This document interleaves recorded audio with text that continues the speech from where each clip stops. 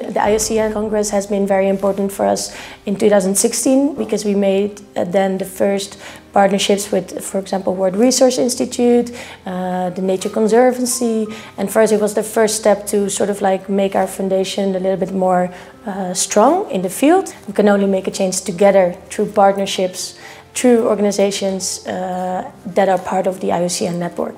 We really need to show that there's still hope and that there are still projects that can make a change.